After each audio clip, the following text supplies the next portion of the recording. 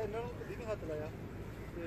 ਕੁਝ ਅਸਰ ਰੋਜ਼ ਦਿਨ ਬੜਾ ਕਰਦੇ ਆ। ਤੇ ਹੁਣ ਤੁਸੀਂ ਵੀ ਦੱਸੋ ਕਿ ਇਹਨਾਂ ਤੇ ਇਸ ਤਰ੍ਹਾਂ ਫਿਰ ਨਹੀਂ ਲੈ ਸਕਦੇ ਅਗਰ ਦੂਸਰਾ ਧਰਮ ਲੈ ਅੱਗੇ ਤੇ ਉਹ ਤਾਂ ਅਸਲ ਚੀਜ਼ ਹੈ ਦੋਸਤੋ ਦਰਿਆ ਚਨਾਬ ਦੇ ਕਿਨਾਰੇ ਖੜੇ ਹਾਂ ਅੱਜ ਬਾਰਬੀਕਿਊ ਦਾ ਪ੍ਰੋਗਰਾਮ ਹੈ ਬੜਾ ਖੂਬਸੂਰਤ ਮੰਜ਼ਰ ਹੈ ਧੁੰਦ ਸ਼ਦੀਦ ਹੈ ਤੇ ਪੁਰਸਕੂਨ ਦਰਿਆ ਦੇ ਕਿਨਾਰੇ ਇਹ ਬੜਾ ਹੀ ਅੱਛਾ ਮੰਜ਼ਰ ਬਣੇਗਾ। ਪਹੁੰਚ ਗਏ ਹਾਂ ਦਰਿਆ ਤੇ। ਯਾਦਾਂ ਤਾਜ਼ੀਆਂ ਕਰੋ, ਦੇਖੋ ਕਸ਼ਤੀ ਵੀ ਖੜੀ ਹੈ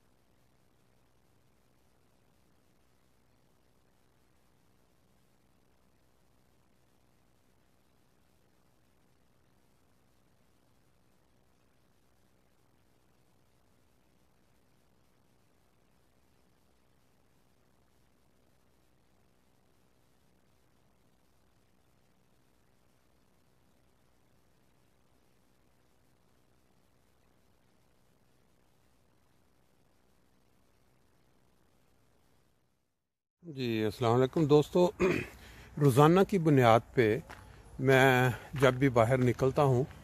तो ये जो नज़ारा है इस मुकाम का,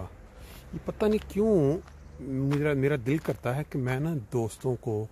ये अपनी हर तीसरी, चौथी वीडियो के बाद ज़रूर करवाऊँ। इसकी वजह यह है कि ये एक ऐसा मुकाम है जहाँ पे हर वो इंसान हर वो इंसान जिसने जिस तरह का भी घर बना लिया, जितनी भी उसने तरक्की कर ली, जितना भी उसने प्लान कर लिया कि मैंने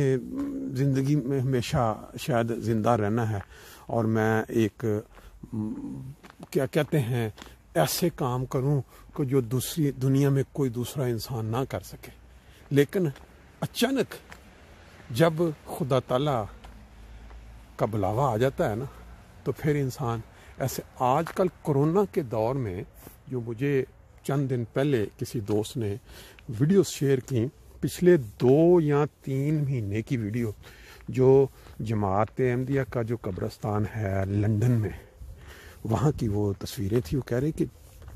इतनी ज़्यादा कब्रें उधर बढ़ गई हैं, इतनी तेज़ी के साथ कि इंसान साल हा साल ऐसे नहीं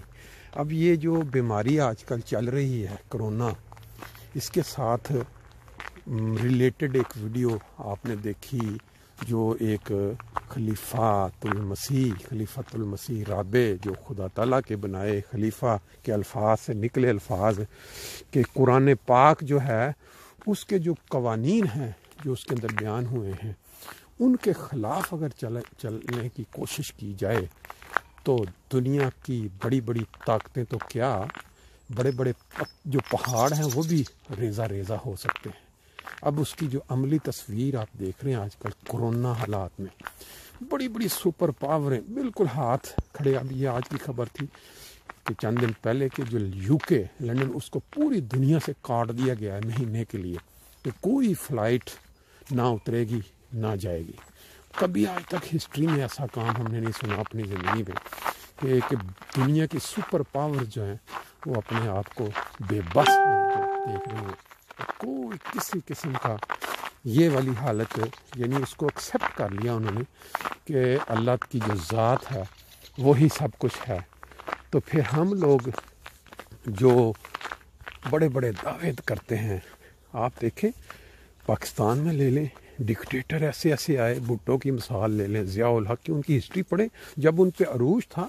तो वो समझते थे हम खुदा बने हुए हमारा एक इशारा जो है, वो दुनिया को इधर से उधर कर देगा। अब ये अब ये आप देख लें, जो गुरूर हम देखते हैं, जो सदर प्रेसिडेंट ऑफ़ अमेरिका, जो ट्रंप 20 तारीख को जिसकी रवानगी है अपनी हुकूमत से, उसने भी ये सोचा था कि अगले टर्म जो है वो मेरी है, और उसको यकीन नहीं था कि ये मतलब इस तरह हो सकता है कि कोई दूसरा भी बन जाए। लेकिन वो तो एक दुनियावी लिहाज से है ना, लेकिन बाज़ इंसान जो ज़्यादतियाँ करते हैं लोगों पे, या लोगों का हक मारते हैं, या फिर ये ले लें कि अपनी सेहत का ख्याल नहीं रखते, ये अब ये छोटा सा एक कब्रस्तान है जो कि फ्रैंकफर्ट प्रोइंगसाइन यहाँ जर्मनी में इन्होंने हर साइड पे छोटे छोटे कब्रस्तान एरियाज़ में बनाए हुए जहाँ पर जो लोग पुराने रहने वाले, देखें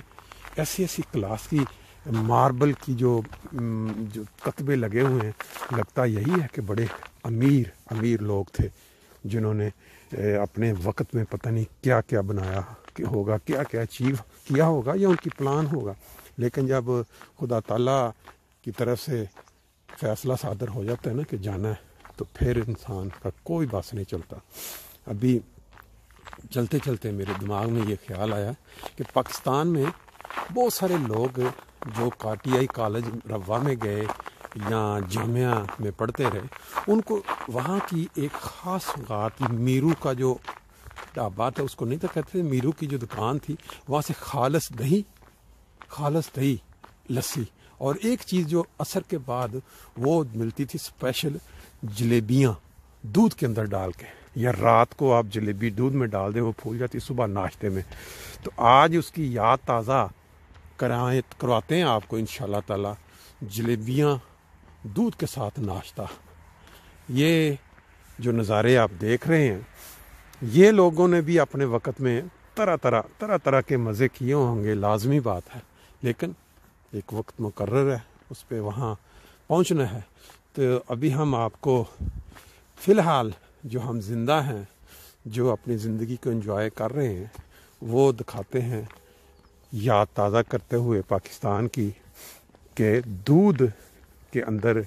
जलेबियाँ डाल के उसका जो नाश्ते का मज़ा है, वो दुबाला करते हैं। बाकी फिर इन ताला आपको नेक्स्ट दफ़ा फिर कोई नई चीज़